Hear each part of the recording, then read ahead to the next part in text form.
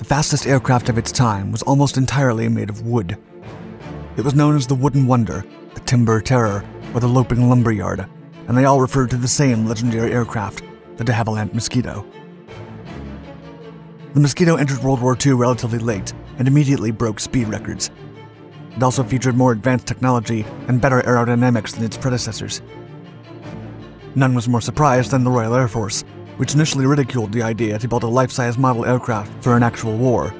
In an era in which aircraft were heavy in armor and weight, it seemed preposterous to build a bomber with no guns. However, the Mosquito would rely on its speed. The aircraft flew around Europe, executing many different missions, which no other aircraft equaled in diversity and precision. It was also one of the first successful multi-role combat aircraft, and dozens of versions were eventually built, from the bomber and the fighter to the reconnaissance aircraft. As Mosquito pilot Max Sparks would say, quote, It is wrong to say it's a legend, because legend suggests it wasn't real, and the Mosquito was certainly reality.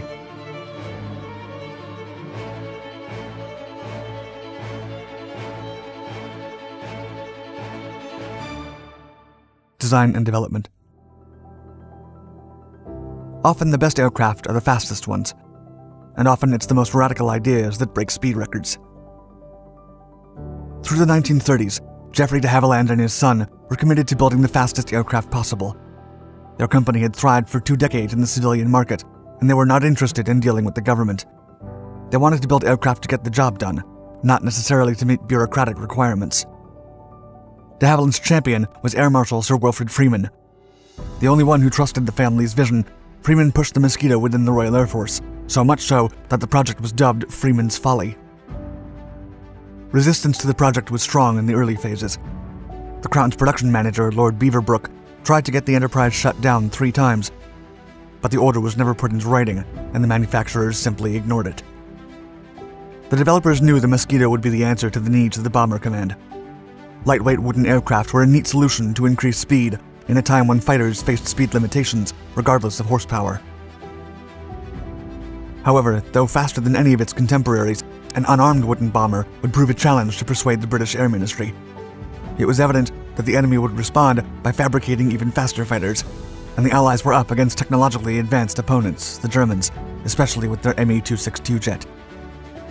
The strongest bet was on conventional, huge, and heavily armed bombers and radical designs of innovative lightweight aircraft were dismissed. But de Havilland was true to his vision and focused on developing a cheap, easy to build aircraft. The aircraft would have no guns or armor plating, relying entirely on its 400 mile per hour speed, faster than anything else at the time. Also, two Rolls Royce Merlin engines would power it, and it could carry up to 4,000 pounds of explosives. De Havilland was able to continue the project, given that wood was not a strategic material and was plentiful during the war effort. What's more, timber had similar structural properties as aluminum and steel, and there was a nation of woodworkers ready to join the cause. From furniture factories and cabinet makers to luxury auto coach builders and piano makers, craftsmen were smoothly turned into subcontractors. Moreover, wood is a millinery material that craftspeople knew well and was easy to work with.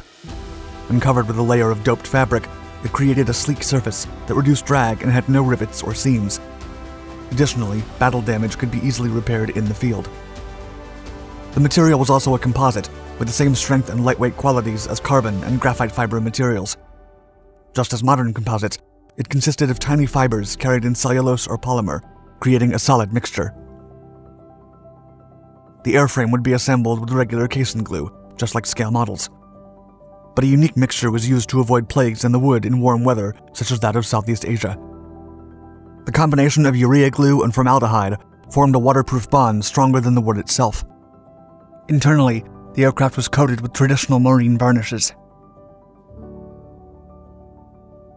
Flight In September of 1939, just as the war broke out in Europe, de Havilland was finally given permission to build the first prototype. In April of 1940, U.S. General Hap Arnold sent Mosquito blueprints to America Five manufacturers received the concept, and all were skeptical at best. Beechcraft was the most contemptuous, saying, quote, This airplane has sacrificed serviceability, structural strength, ease of construction, and flying characteristics in an attempt to use construction material that is not suitable for the manufacture of efficient airplanes. But it turned out that he was incorrect. The first prototype flew in November of that same year. It proved faster than frontline fighters and would remain the fastest for two and a half years. It impressed the Air Ministry so much that there was an order for 150 examples of the untried and untested aircraft by December. The Mosquito became operational in September of 1941. Its speed performance was exalted, and usually relied on altitude for evasive maneuvers. However, it was not an easy aircraft to fly due to its power to weight ratio, wing loading, and VMC of 172 miles per hour. Liftoff and VMC engine failure could prove fatal, and pilots learned to pull up at 200 yards from the end of the runway. Pilot Bill Sweetman stated that the Mosquito was, quote, a slightly nervous thoroughbred which could perform impressive feats in the hands of the courageous and competent, but would occasionally deal out a kick or a bite. Ultimately, the Royal Air Force decided that the Mosquito was too valuable to let anybody fly it, and only the most experienced pilots and those with the best airmanship were allowed. The concept eventually branched into three lines the bomber, the fighter, and the photo reconnaissance aircrafts, each with numerous iterations that, by the end of the war, added up to 40 variants. During the war, there were 33 variants, and seven were introduced afterward, when propeller aircraft were relegated to reserve or training.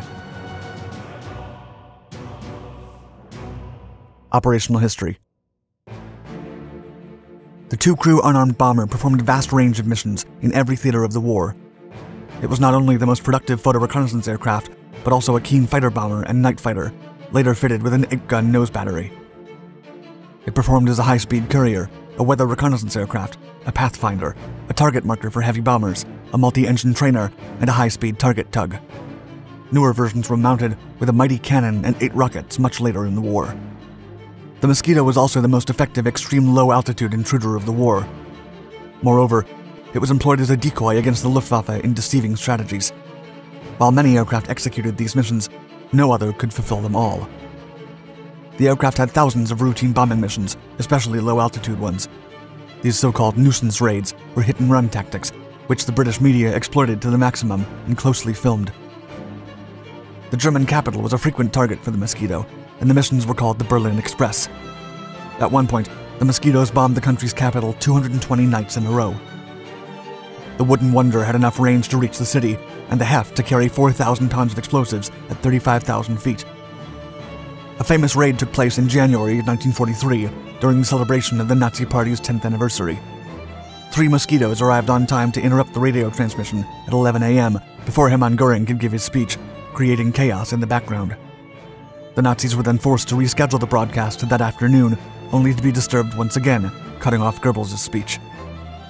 But Hermann Goering admired the British wooden aircraft. Quote, It makes me furious when I see the mosquito. I turn green and yellow with envy. The British, who can afford aluminum better than we can, knocked together a beautiful wooden aircraft that every piano factory over there is building. They have the geniuses, and we have the nincompoops. Furthermore, the Mosquito was a skilled machine employed in espionage maneuvers. Due to its low altitude capabilities, it roamed the German skies, picking up messages from agents behind enemy lines who employed a precursor to the cell phone. An impressive raid. The Mosquito became a legend first and foremost for its precision raids against the Germans. By 1944, hundreds of French resistance fighters were imprisoned in Amiens in northern France. On February 19th, 200 men and women were to be executed, but the Allies would not let that happen. Operation Jericho was an ingenious plan, meticulously projected to bomb the walls surrounding the prison. The geography of the area, the architecture, and the scheduling were accurate. The bombing needed to happen right when the prisoners were in the yard and the guards had lunch. However, it was a dangerous tactic that could hurt the inmates, but when the resistance fighters heard about the plan, they were willing to risk their lives rather than remain at the mercy of the Nazis. That morning, the pilots were briefed and informed of the plan, essentially breaching the walls and letting the prisoners escape. Another squadron was to bomb the guards while they had lunch, but the weather conditions didn't let them take off.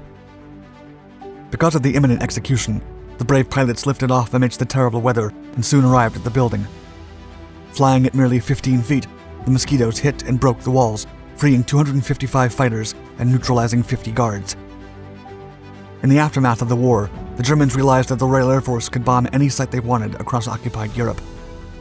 Everyone loved the Mossy, and as pilot Aubrey Hillard put it, quote, it was a love affair. I thought when I finished flying, that was it. I never flew another aircraft again after the Mosquito. Never.